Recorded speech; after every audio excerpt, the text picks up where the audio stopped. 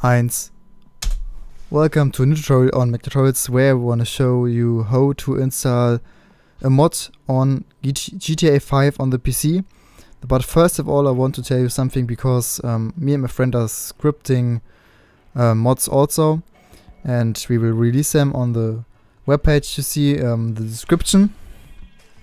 I hope you like them and uh, yeah we will um, make some mods for you and you can also um, tell us something you want, so we can do that for you, some mods. And yeah, here's tutorial how to install a mod. First you go to chip.de, link is in the description, hit download,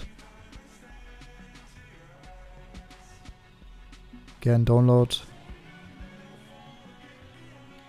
then this will open, you click OK, save it. You open your Explorer, dzap it, open the bin ordner, copy that, it's the only thing you need.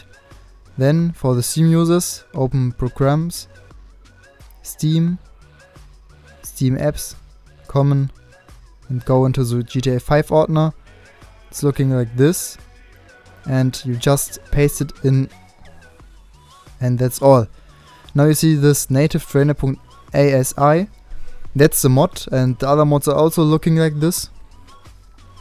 So if you want other mods, just download it and just paste it into this ordner. And that's then it's done. So yeah, if you want more mods, visit our sites or um, give us some things you want to have as mods. So I hope you enjoyed and leave a like or a sub. Bye.